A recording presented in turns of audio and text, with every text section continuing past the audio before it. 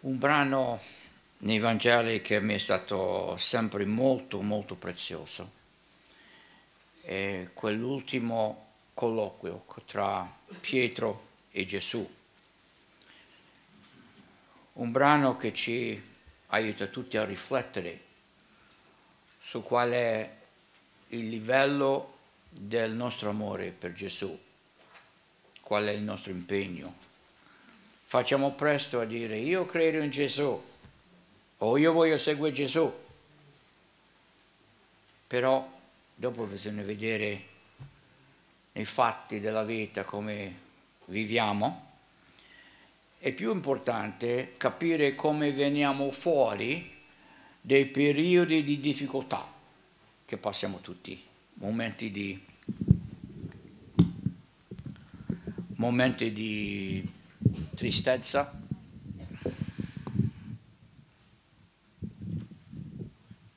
momenti di tristezza, momenti di fallimento, momenti in cui sbagliamo.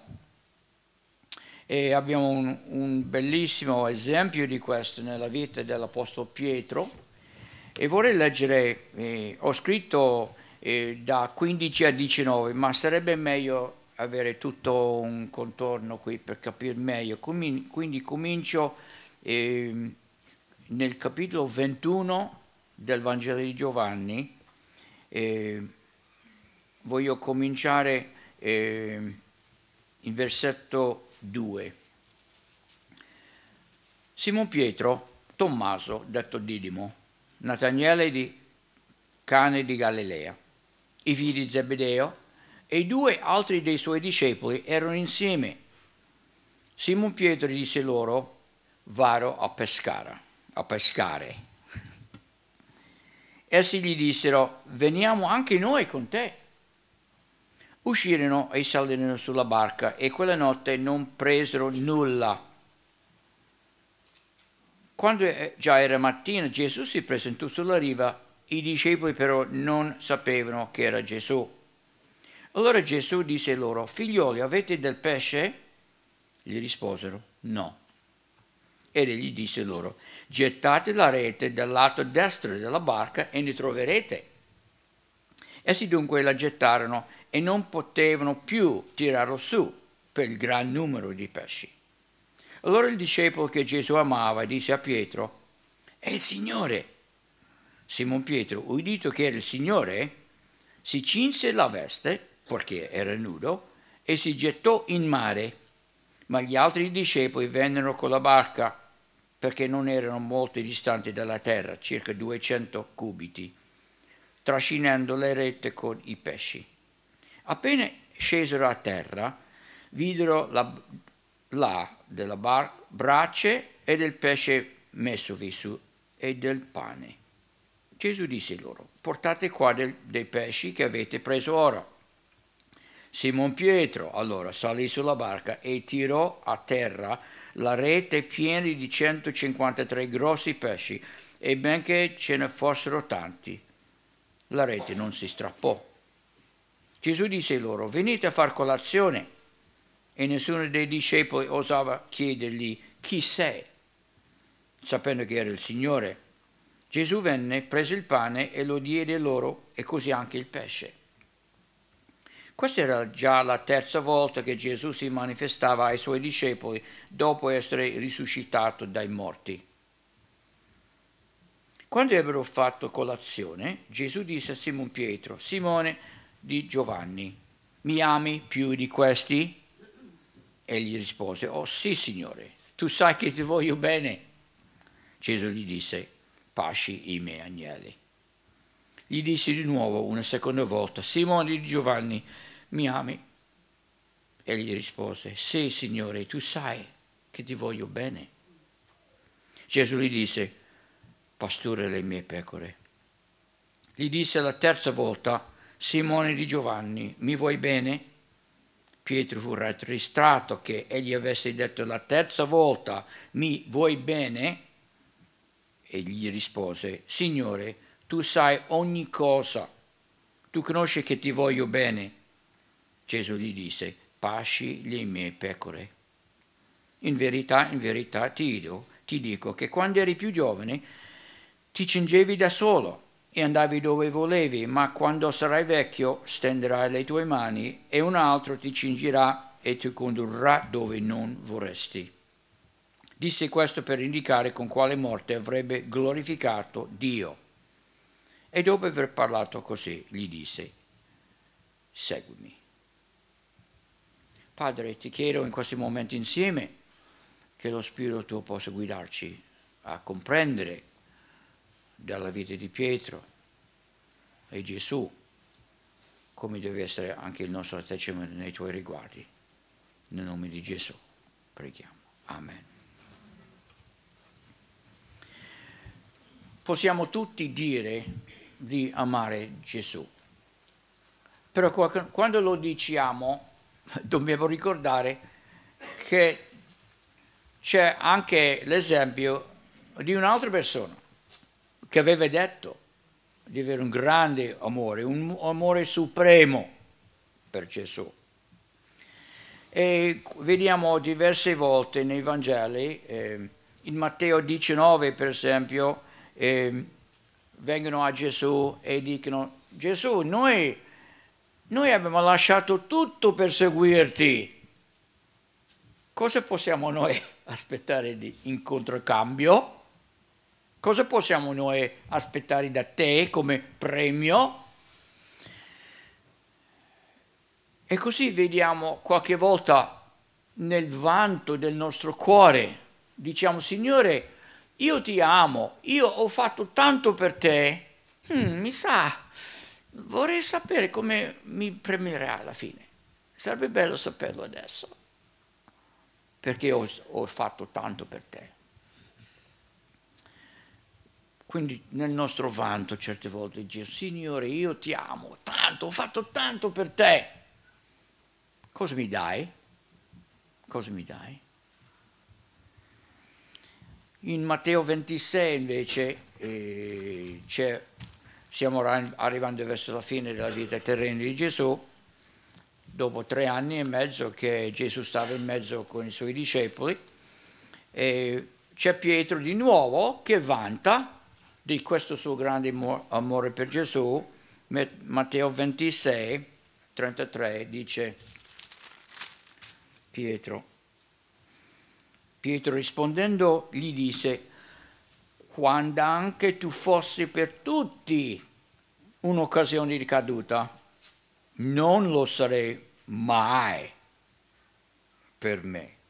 Gesù gli disse, in verità ti dico, che questa stessa notte, prima che il gallo canti, tu mi rinnegherai tre volte.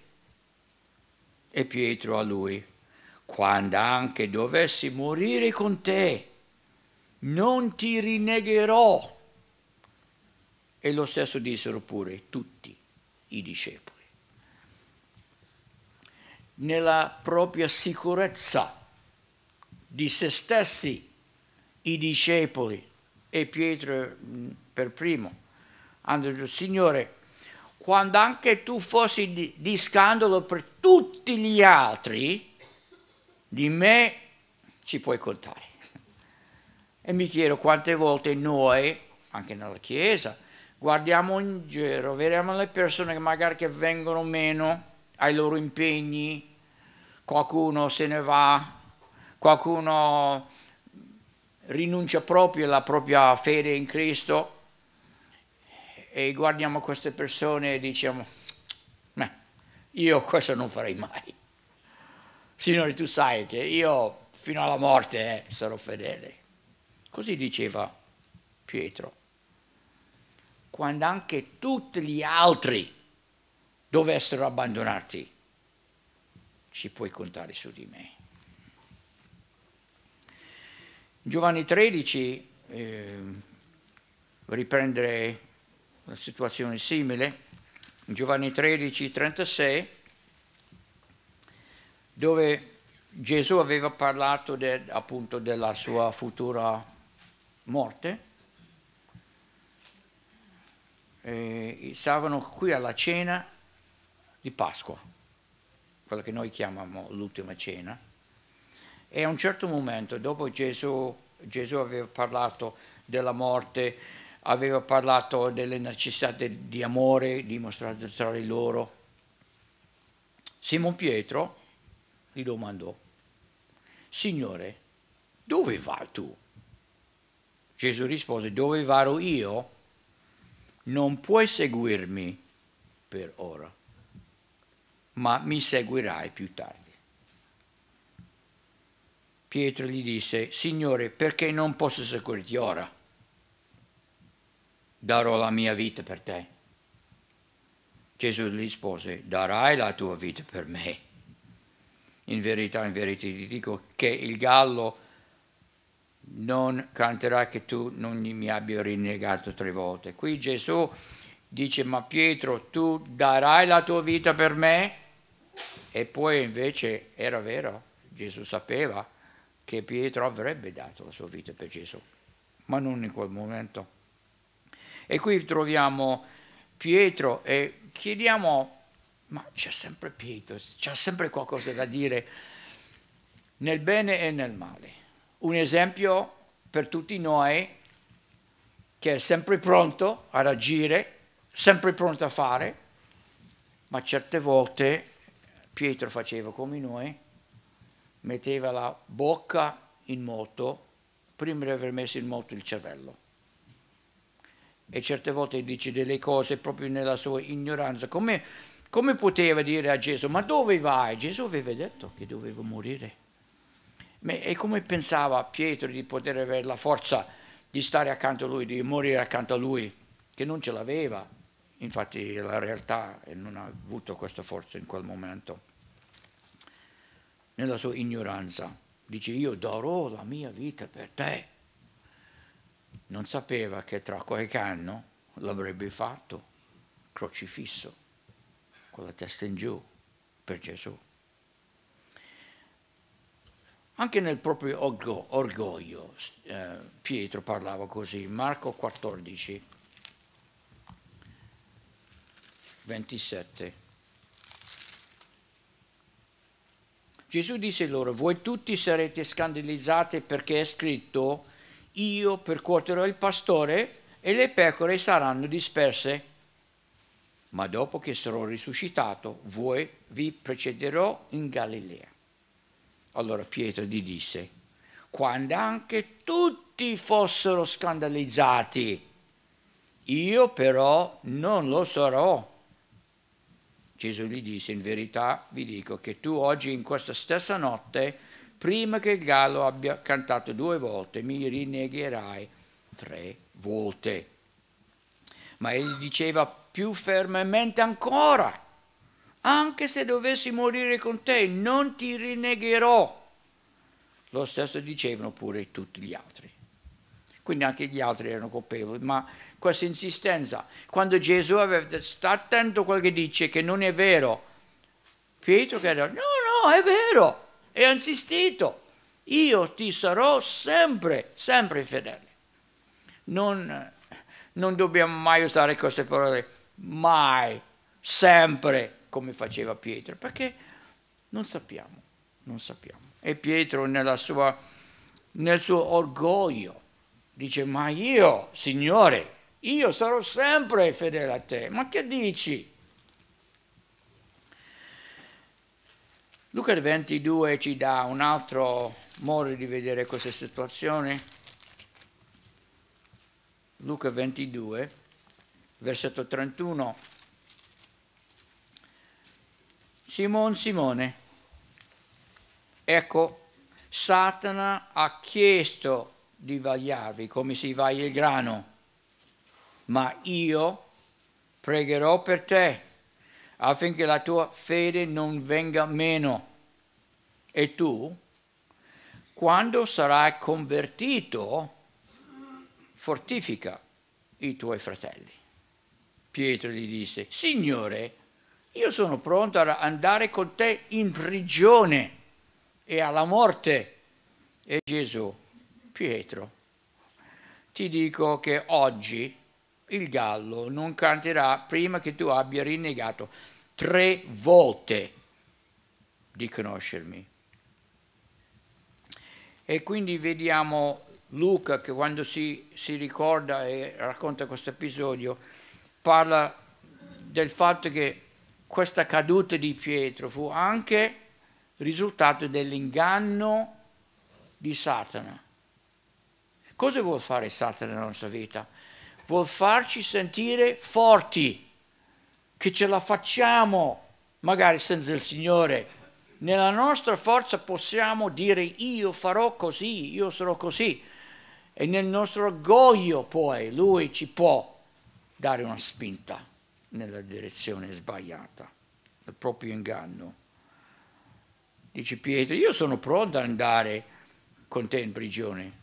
Non sembrava tanto nel giardino lui che ha tirato fuori la spada, ha cominciato a, a difendere Gesù e se stesso.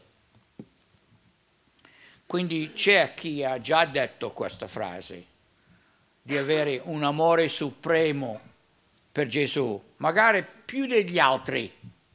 Oh, mi impegno di più degli altri, sono più fedele degli altri, sono sempre là, faccio io, faccio io.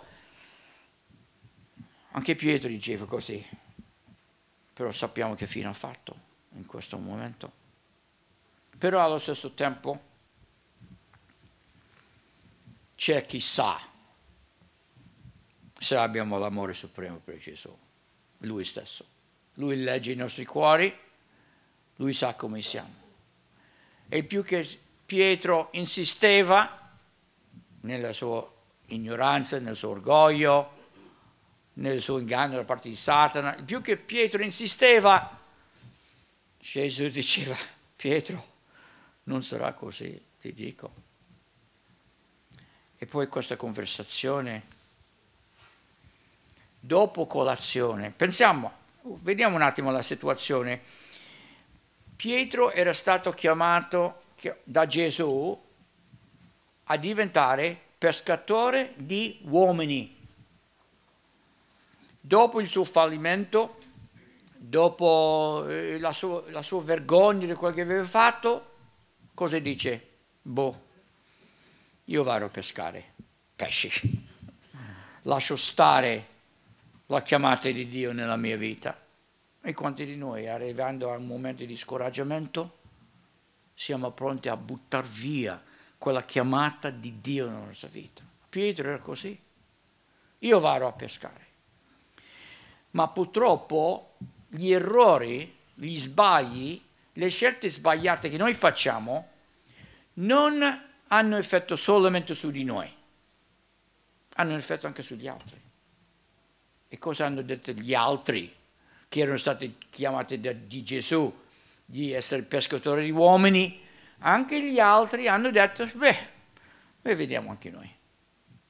Così tutti quanti, con la guida di Pietro, hanno lasciato quell'impegno che Gesù aveva dato a loro di essere pescatori uomini per tornare a pescare. Poi mi piace questo momento quando lui lascia tutti, si butta in mare per arrivare prima a Gesù, non osava ormai nel suo fallimento, nella sua inferiorità, non osava cercare di camminare sull'acqua come l'altra volta, assolutamente. Era un fallito, un fallito. Si è buttato nel mare, cercando di arrivare lì a nuoto per vedere Gesù.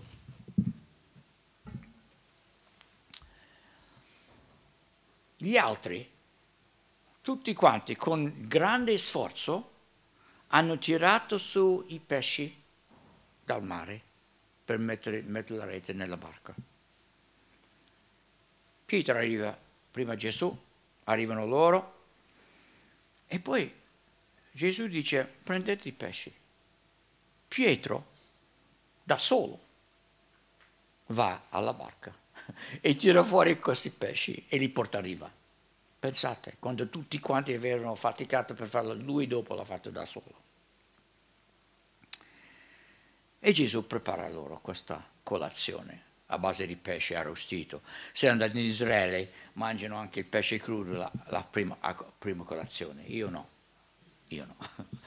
Però così fanno. Dopo colazione Gesù prende da parte Pietro.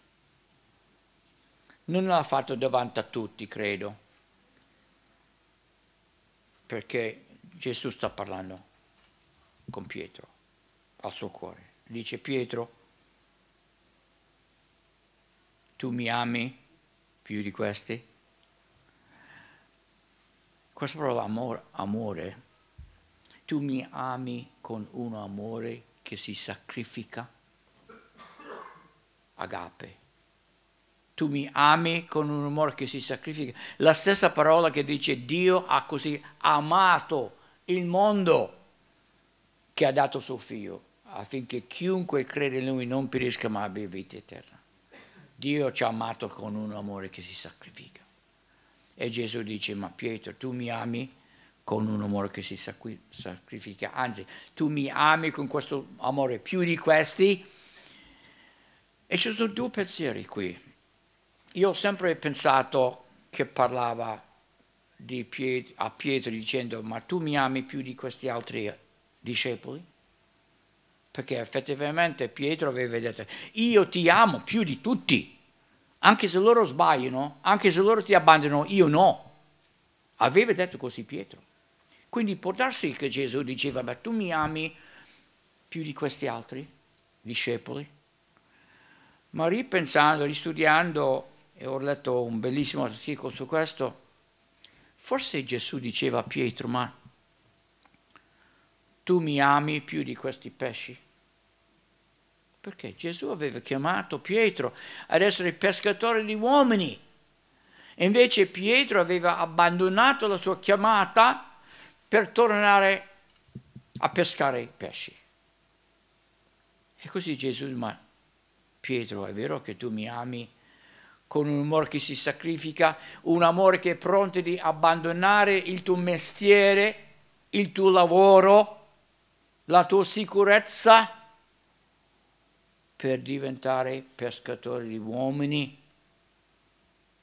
Pietro, tu mi ami con un amore che si sacrifica più di questi?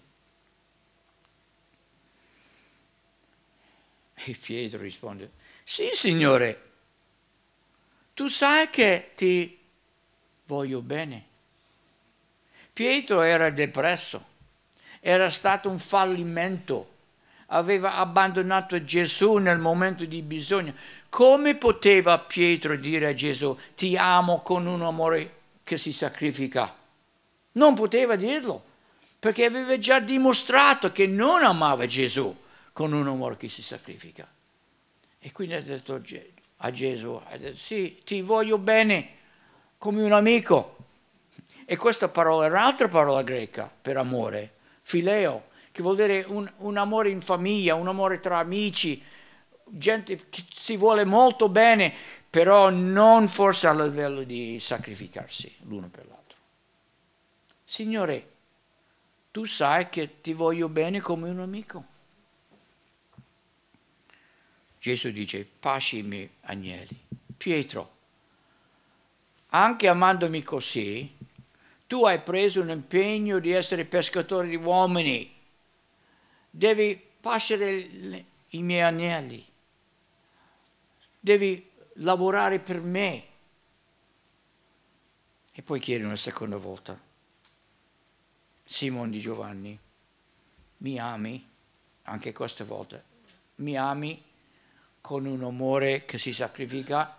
Non hai detto più, più degli altri perché si sapeva che non era vero ha detto, ma tu mi ami con un amore che si sacrifica? E Pietro un po'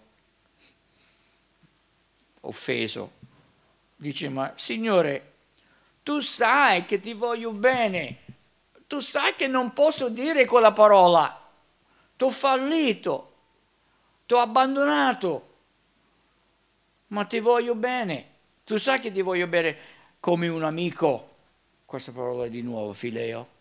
Ti voglio bene come un amico. E Gesù risponde, pastora le mie pecore, devi impegnarti in quel lavoro che ti ho chiamato di fare, di portare la parola di Dio alle mie pecore, di servirmi, di essere pescatore di uomini. pastura le mie pecore. E poi Gesù disse la terza volta, Simone di Giovanni, è vero che mi vuoi bene come amico? Pietro aveva detto già due volte che non poteva amare Gesù con un amore che si sacrifica perché era un fallito, aveva sbagliato. A quel punto Gesù dice, ma se non mi ami con un amore che si sacrifica, sarà vero che mi vuoi bene come un amico? E a quel punto era come un pugnale nel cuore di Pietro perché vedeva tutto il suo fallimento, vedeva tutte le volte che lui aveva rinnegato Gesù.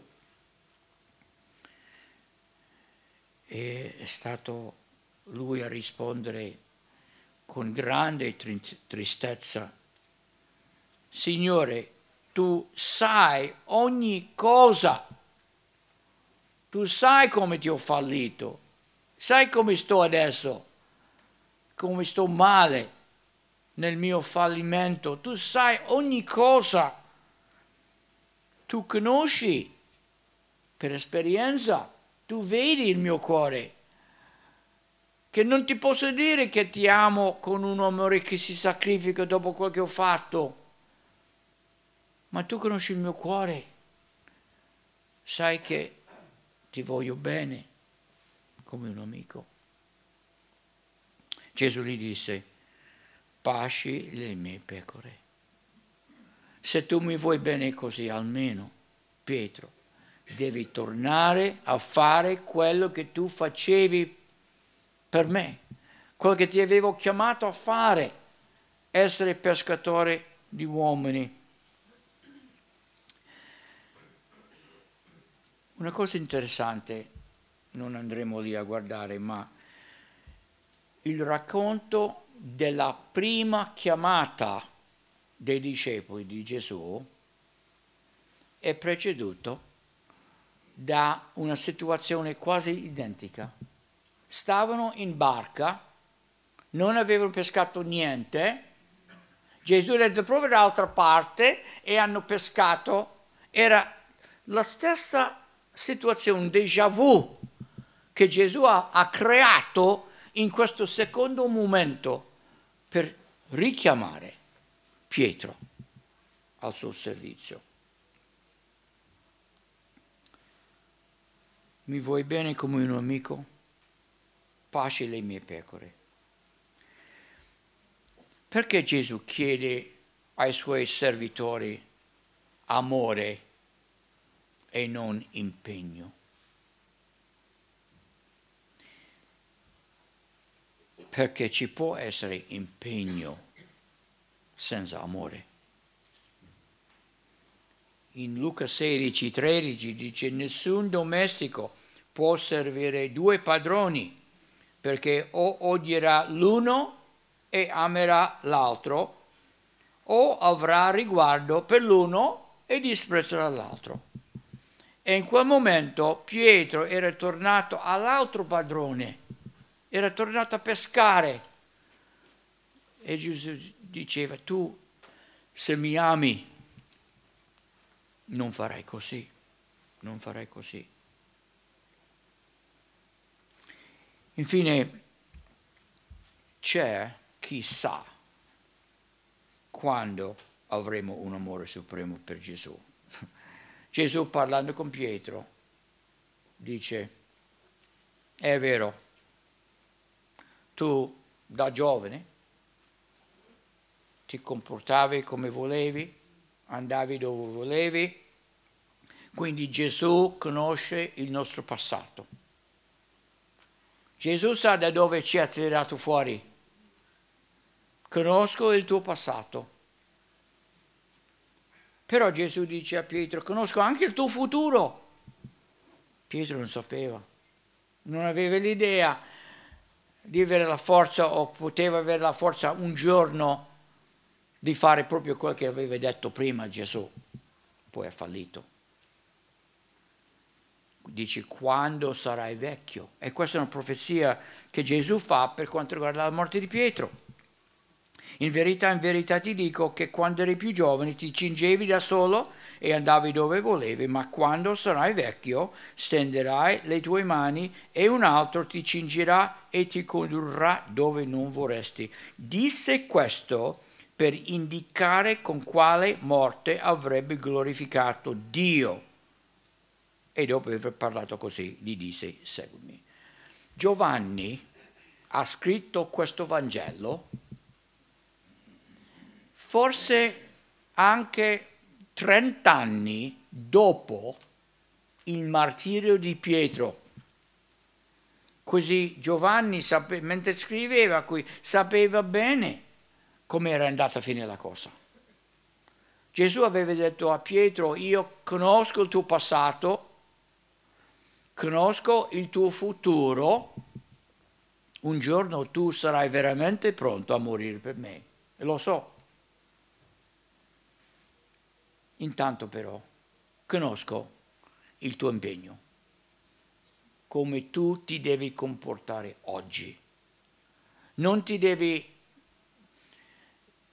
confondere pensando del passato, dei tuoi fallimenti, le volte che sei venuto meno.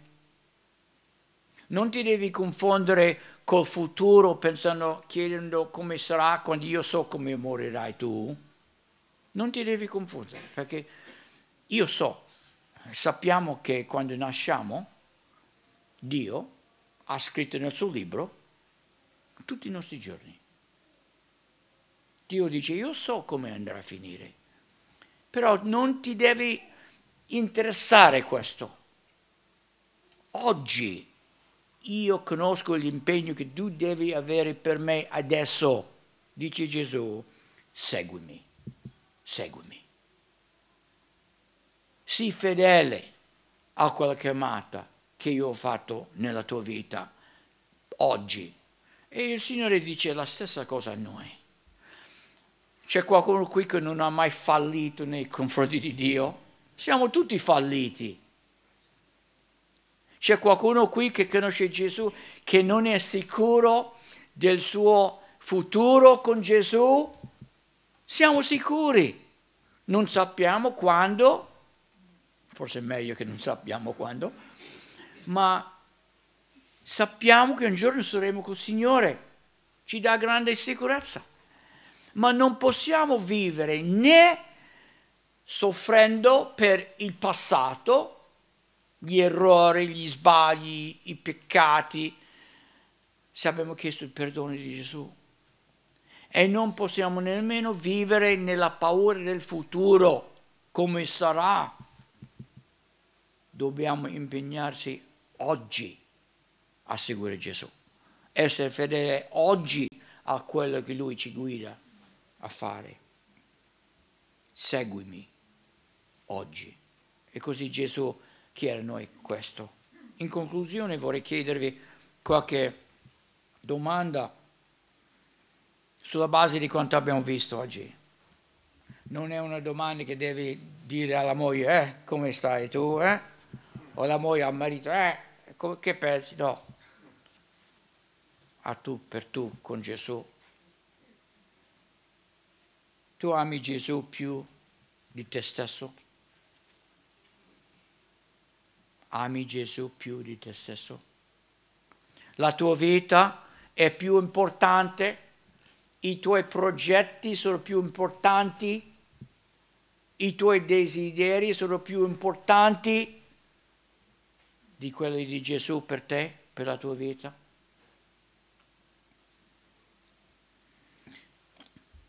Amiamo Gesù più della lode, dell'apprezzamento e dell'approvazione degli altri. Viviamo per quel che dicono gli altri e non per quel che dice Dio. Il nostro amore per Lui è più grande della nostra paura di come ci giudicheranno o cosa diranno di noi. Certe volte viviamo perché qualcuno ci possa dare una pacca sulle spalle, bravo, questo quanto sei bravo. Noi dobbiamo vivere pensando di Gesù che un giorno potrà dirci, ben fatto, mio servitore fedele. Amiamo Gesù più dell'apprezzamento delle persone. Quando, degli, quando le persone prendono degli impegni, anche qui nella Chiesa, e dopo un mese, due mesi, ma sei mesi, forse un anno, dicono alla fine, beh, non mi piace, non è la mia cosa. Nessuno mi ha mai detto grazie. Faccio tutto e nessuno mi dice grazie. Vuol dire che non l'hai fatto per Gesù. Non l'hai fatto per Gesù. Facciamo le nostre cose per l'approvazione delle persone vogliamo che loro dicano bravo, ma quanto sei bravo. Facciamo per questo? Se facciamo per questo non stiamo facendo queste cose per l'amore di Gesù. Amiamo Gesù più delle nostre aspettative, i nostri progetti, quel che noi vogliamo fare nel futuro. Facciamo dei progetti e poi diciamo, Signore, benedici i miei progetti o invece chiediamo a Dio nella sua parola di guidarci nei progetti che noi dobbiamo avere per la nostra vita, per poi essere sicuri che Lui ci benedirà. Io penso ai giovani di oggi. Se dovessero fare dei progetti futuri basandosi sul lavoro, basandosi sulla salute, basandosi sulla famiglia, basandosi su tutto quel che c'è intorno, c'è da prendere un bel esaurimento. Ma quando facciamo i nostri progetti per il futuro guardando a Gesù, guardando la sua parola, chiedendo a Lui una guida nella nostra vita, mettendo Lui prima di ogni altra cosa, dice Signore, i nostri progetti avranno buona fine, una buona fine. Amiamo Gesù più nostri, delle nostre aspettative Amiamo Gesù più di aver sempre ragione? Noi lottiamo con questo, certo, io con questo. Voglio avere ragione io, ma certe volte è meglio non avere ragione. Certe volte è meglio non dire, te l'ho detto io, per amore di Gesù, per amore della fratellanza, per amore della Chiesa sua amiamo Gesù più della nostra sicurezza? Io vorrei fare qualcosa per Dio, ma io ho tutte queste cose che devo fare, devo lavorare, devo fare, devo, da fare e poi devo pensare al futuro. Non ho tempo di pensare a Dio. Allora non amiamo Gesù più di queste cose mentre leggevo questo brano, il Signore ha aiutato a riflettere molto sulle cose che voglio io, se sono posso, pronto a, dargli a Gesù, dicendo se vuoi tu, Signore, se vuoi tu. Perché quella, quella frase, mi ami con un amore che si sacrifica più di questi, è una frase che ci deve tutti toccare profondamente. Io prego che la mia, che la tua risposta a questa domanda di Gesù sarà sì, io ti amo con un amore che si sacrifica, sono pronto a seguirti, ad ubbidirti, anche se mi costa, anche se mi costa lavoro, mi costa all'università, mi costa tra gli amici quando io dico no, io non faccio queste cose, io seguo Gesù, io credo in Gesù, anche se mi costa, io sono pronto, Signore Gesù, a seguirti. E poi possiamo andare avanti. In attesa del futuro, viviamo nel presente. servendo il Signore, lasciando con Lui tutti i risultati, quello che Lui vuole fare, in noi, tramite noi, anche per gli altri, per la sua gloria. Prego che questo sia il tuo atteggiamento oggi. Preghiamo. Padre, chiediamo perdono per le volte quando abbiamo fallito, siamo venuti meno,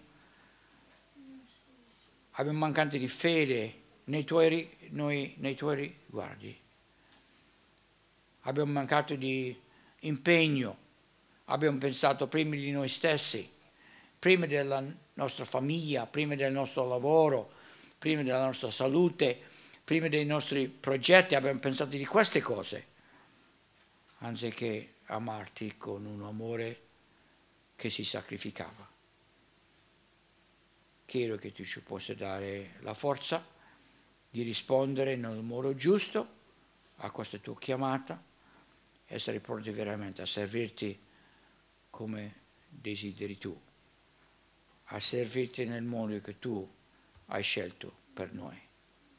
Nel nome di Gesù preghiamo. Amen.